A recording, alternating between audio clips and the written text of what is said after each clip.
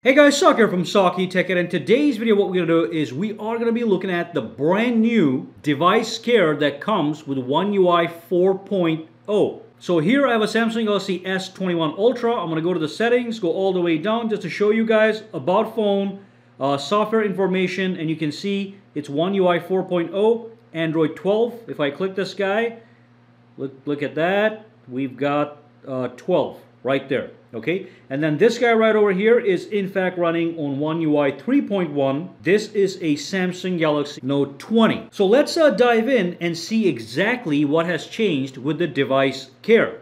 It's a place I spend a lot of time in so I like the changes that they have done.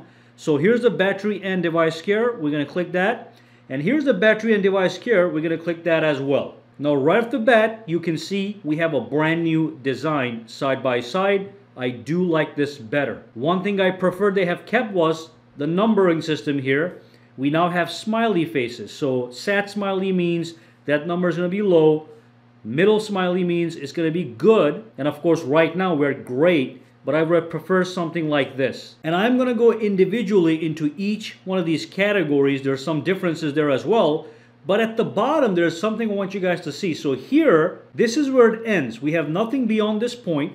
Now if I scroll down here, we actually have two new options known as additional care. Now one of them links directly to the software update. So if I click on this one, it goes straight into the software update page as you can see. Number two, we have this thing right here that is known as the diagnostics menu.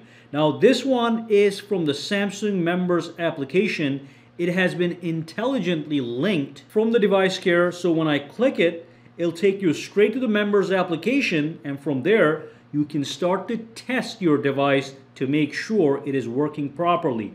You can do a full system scan or you can do single stuff like battery status. So it's a normal battery, which is great. Now let's go in here.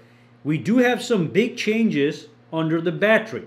Now before I dive in, a real quick message from our sponsor. So a quick word from our sponsor, which is an app that I've been using recently a lot. So Endel is a powerful app designed to make you focus better for daily tasks such as studying or working or to calm and relax you for sleeping and stress relief. Now it does this by creating neuroscience-backed, AI-driven soundscapes and musical rhythms that will allow you to focus better or soothe you or relax you based on your choice. So let me show you. Here's the app and it's got a really artistic interface. So let's say I want to do some important work and need help focusing. I tap on deep work and I choose how long I'll be doing the work and I click on start immediately the app creates an AI-powered soundscape that puts you into a deep state of flow, increasing your concentration. Or let's say I'm a little stressed or anxious, I can choose the option to meditate and again choose for how long and this time it creates a soothing soundscape designed to create feelings of comfort and safety, thereby relaxing you. And of course I can do the same if I need help concentrating or being productive or if I need help sleeping and it will create soothing sounds that will put me into deep sleep.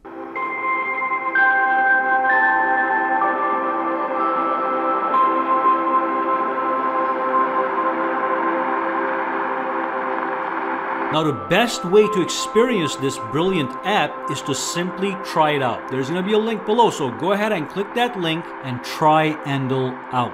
You are going to love this app. Alright, so here we have it. Now, overall, it seems to be the same. However, at the bottom, when you go into more battery settings, what we now have is we have a change. So this enhanced processing, something I never liked, is gone and replaced. So this would just maximize the phone's performance. It's like turbo mode. Everything gets activated. Maximum battery consumption. Now here it has been renamed to processing the speed with three different options. We have the optimized mode, which I like. That's what I'm going to keep it at. Then we have the high, which is the middle ground, and it tells you exactly what it does. Get faster data processing. Some apps are running slowly, but mostly they're maximized. And then we have the maximum mode, which was this guy right here. So we would go straight to max over here. Now we have the options to choose from three different options. I think that's the best right here. Balance speed and battery and cooling efficiency. Now, in relation to that, I also want to let you know they also have given us the processing toggle instead of the enhanced processing. So we can click them both from here, but when you click on the text, now you get the three options. When you click on the text here, it's just on and off. So that's changed as well. Now let's go back. Another huge thing that I love is this feature at the bottom.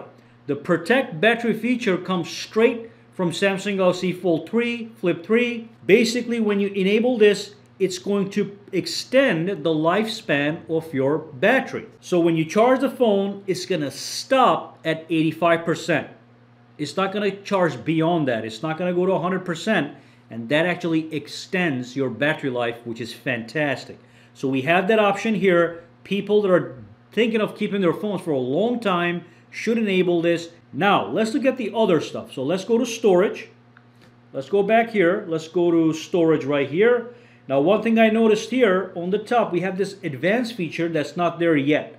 But I guess it's a beta, so some things might be missing. And even this over here, the apps has a little icon next to it. I don't know what that is. But otherwise, it looks mostly the same, but we don't have the advanced feature yet on the One UI 4.0, okay? It's not a huge deal, but it's not there. And if I go down here, we have the same thing. Uh, it just has a slightly cleaner look on this side. So that's the duplicate files, that's the large files, we have the same situation happening right here. Now let's go back and look at the memory, okay?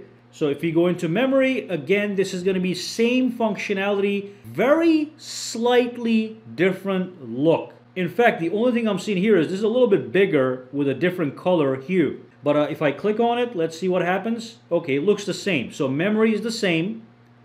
Let's go back. Okay, so we're going to go over here and we are going to look finally at device uh, protection, again, overall same. We have a slightly different look as you can see, but everything else is the same. All right. Uh, but most of the big changes are the additional care options and the battery options that are actually very useful. All right. So that's the brand new device care on One UI 4.0. If you have any questions, comments, or concerns, drop them down below. Stay tuned for a full top to bottom comparison between 4.0 and 3.1. For now, guys, have a fantastic day, all right?